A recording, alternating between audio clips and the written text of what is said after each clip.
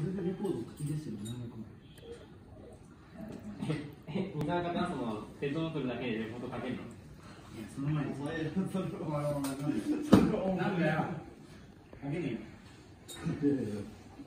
俺の小学生の簡易実験の10分間で説明してもらった実験でレポート書けたんだよ、なんだよ、なんだよ、なんだよ。俺のプライドなんか考えてないよ。今足りないのがさ、自由意志なのね。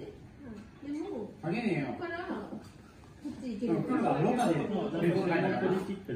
そうだよね、ここからこっち行10原則え今度は廊下でレポート書いた。中原則ゆっくりになる普通に物体をいろいろ。いろいろ。5で加速何を結論に持ってくのあいそれでね廊下できた。加速しないでよあ外した